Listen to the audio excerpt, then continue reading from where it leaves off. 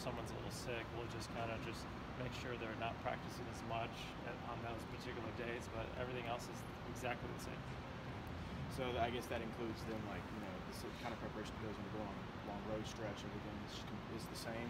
It's the same kind of. Yeah, it's it's the same type of training. You know, it's it depends on the week. Each week will be different. If we have two matches or three matches in a week, I think recovery is important. You know, um, have pretty much a system to where we're going to train hard and we're going to maximize when we're on court, but then when we need to rest, we need to shut it down because it's something you want your, your best players to play every match. So you don't want to you don't want to go crazy and overtrain, but you don't want to undertrain and not be ready. So there's a good balance. You have to be ready to have those players be healthy and also have them ready physically to, to push through a hard physical match. It goes into kind of potentially having back to back like days matches, like the recovery. I think they're, you know, it's they're fine two days in a row like that. I actually prefer it because in a tournament setting, let's say we go on and we win two matches in a row, we qualify for national indoors. Well, you've got 16 teams there. Whoever makes the final, that's going to be playing four days in a row, right? So, so I think it's good for the guys to play back to back and get used to that. But, uh, the recovery time, not having that much recovery time, and not kind of babying them to have a day off in between.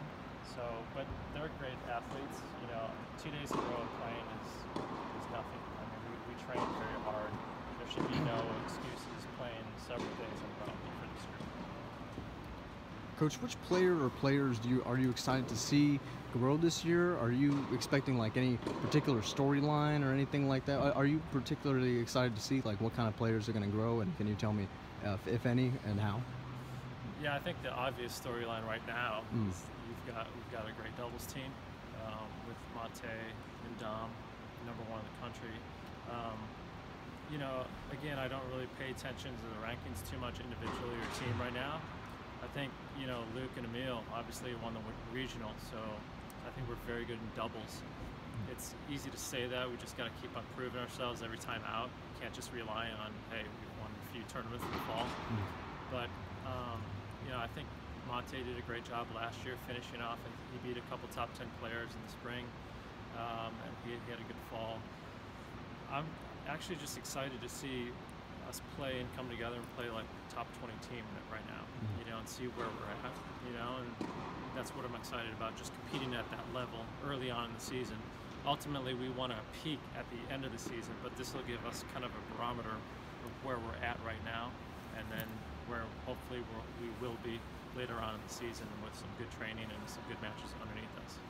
I know we're quite a few months away from it, but they've obviously resurfaced the courts in here, new lighting. You guys are playing really well. Do you feel that the, the fan base has grasped just how big of a deal it is that you guys are hosting the national championships this year? I hope so. I mean, this could be the last time we ever host. You know, there's you never know what's going to happen. I think there's there's some talk of having uh, men's and women's tennis having like an Omaha type of deal with baseball, like just one location, which could be in Orlando with the USTA Center.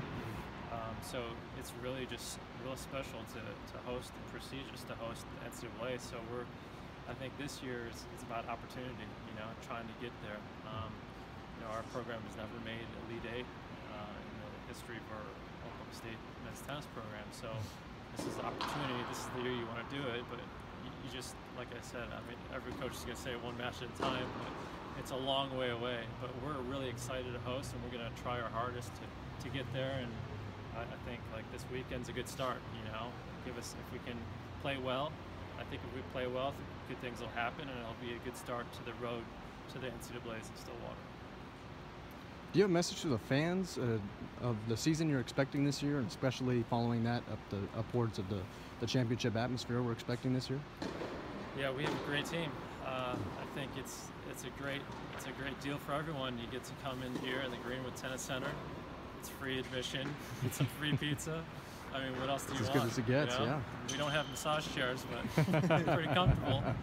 Um, you know, we just have great athletes. I mean, it's mm. the best college tennis you can you can play. So mm. for people to come out and see that, and then the culmination being at NCAA in Stillwater, why wouldn't you want to be a part of that? I mean, I, I think we have a great college town but we have a, a lot of support because it's a small college town. It's not saturated with a lot of pro sports, things like that.